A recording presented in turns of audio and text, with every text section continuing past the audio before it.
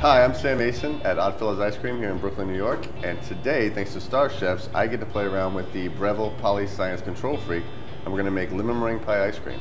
So uh, let's go in the kitchen and get this started.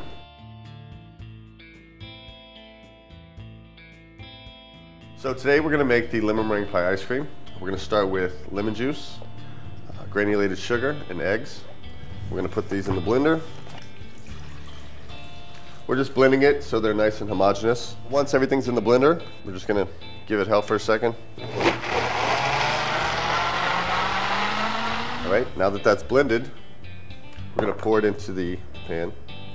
We're gonna cook this to 170 with a probe. We already conveniently have set a lemon curd program in here, so I just have to go to the actual curd setting and set it, and this probe will dictate the temperature that the, the product ends up at. So at this point, we're gonna pause the, the cooking.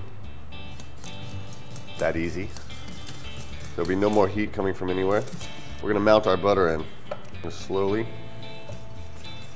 whisk in cold butter.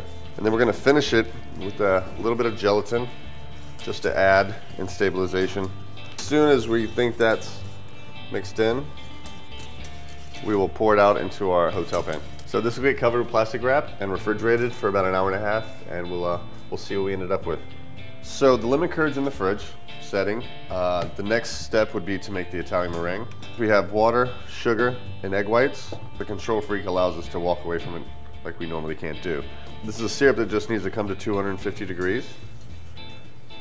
We're gonna whip our egg whites to stiff peaks, uh, and then we'll slowly introduce the hot syrup into the egg whites, and we'll let them cool for a little while, and then we'll freeze the whole lot with liquid nitrogen. The next step in this, uh, this process is freezing both the lemon curd that we made and the Italian meringue.